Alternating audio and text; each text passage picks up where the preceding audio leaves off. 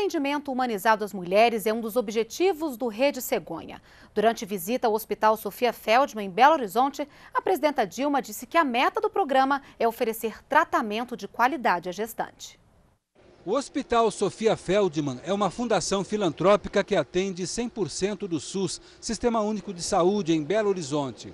A presidenta Dilma veio para conhecer a unidade de cuidados intermediários neonatal em funcionamento há dois meses, com 22 leitos. Todo mês, o Ministério da Saúde repassa 210 mil reais para custeio da unidade, que está inserida no programa Rede Cegonha.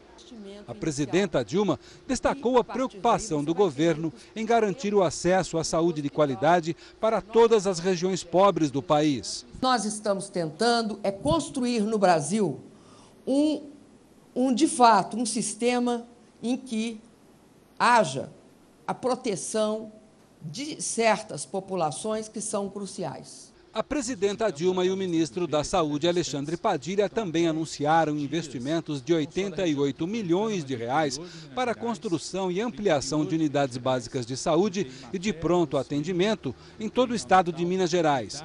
Os recursos fazem parte do programa de aceleração do crescimento. Nós também estamos assinando aqui a expansão do que nós chamamos do componente hospitalar, da parte das maternidades de alto risco, mais leitos de UTI materna, mais leitos de UTI neonatal, mais leitos de unidade de cuidados intermediários para o interior de Minas Gerais, para que a gente possa ter a mesma qualidade de atendimento que nós temos aqui em Belo Horizonte, cada vez mais no interior de Minas. Isso significam 119 milhões de reais em 2012, 2013 e 2014, de leitos que já passam a funcionar, 47 milhões de reais só no ano 2012.